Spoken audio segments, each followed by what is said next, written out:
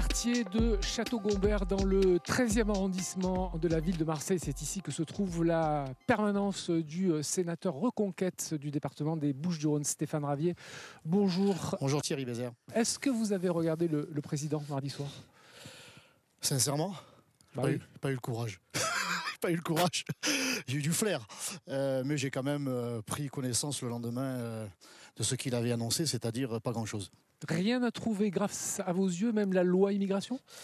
Est-ce que vous l'avez Ah, voté au la, Sénat? la loi immigration. Non, moi, je m'étais abstenu lors de la première lecture parce qu'on allait dans, dans le bon sens. Il y avait la suppression de l'AME. euh, euh, plusieurs de mes amendements avaient été votés. Il y avait un, durcissement euh, réel. Bah, ce n'est pas celui que j'espérais, mais donc je m'étais abstenu. Et puis la seconde lecture, retour euh, de l'AME, de l'aide médicale d'État, donc ces clandestins dont les frais médicaux sont intégra- intégralement pris en charge sans qu'ils ne cotisent jamais rien.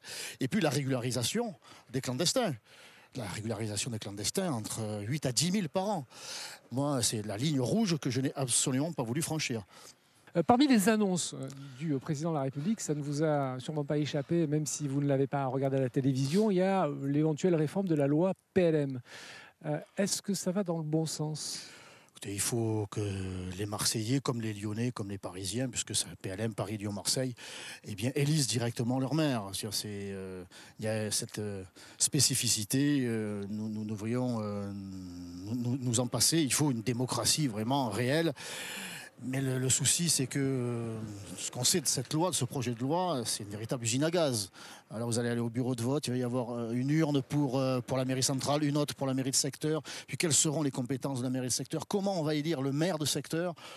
Tout ça reste très compliqué. Stéphane Ravier, ça ne vous a sûrement pas échappé, mais France 3 à Provence-Alpes, France Bleu Provence et la Provence ont commandé un, un sondage euh, sur le bilan de Benoît Payan et sur euh, la notoriété euh, des personnalités politiques de la cité phocéenne. Vous arrivez troisième. Qu'est-ce Oui. que ça vous inspire? Oui, ça a été un grand éton- étonnement de la part de ceux qui observent mal. Euh, écoutez, c'est un- une très bonne nouvelle pour moi. Benoît Payan, Renaud Muselier, Stéphane, Stéphane Ravier. C'est quelqu'un, votre serviteur, euh, se présente comme étant euh, débarrassé réellement euh, de, de la mainmise des partis. Moi, je ne prends d'ordre auprès de, je ne prends aucun ordre. Je ne prends pas d'ordre auprès d'Éric Zemmour ni de Marion Maréchal. Je ne prends que des doléances des Marseillais. Voilà, je suis à leur service. Et je crois que c'est ce qui fait la différence avec mes concurrents, qui sont eux des hommes et des femmes de parti qui prennent leurs ordres de Paris. Donc moi, je ne prends d'ordre auprès de qui que ce soit. Je m'adresse aux Marseillais et je leur dis travaillons. C'est pas encore l'heure de désigner Stéphane Ravier comme tête de liste. Moi, je suis candidat à comment dirais-je à, à inviter euh, les hommes et les femmes de bonne volonté euh, de Marseille pour que nous nous réunissions autour de la table et que nous nous mettions d'accord sur un, euh, sur un programme au service des Marseillais. Et on verra qui sera la tête de liste. Je ne me déclare pas tête de liste, je me déclare volontaire pour travailler pour Marseille.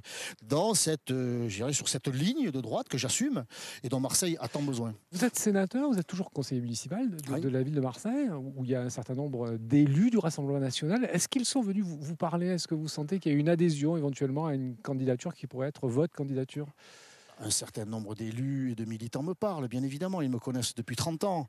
Moi, euh, contrairement à d'autres qui sont en responsabilité au Rassemblement national ici, je suis un militant euh, de longue date. Et ils savent que je connais Marseille, que je me bats pour Marseille et que je suis en phase avec Marseille et pas avec Paris. Euh, donc, bien sûr qu'ils me parlent. Et ils me parlent discrètement, parce que sinon, ça tombe, Discrètement. ça tombe de Paris et ça tombe, je dirais, méchamment.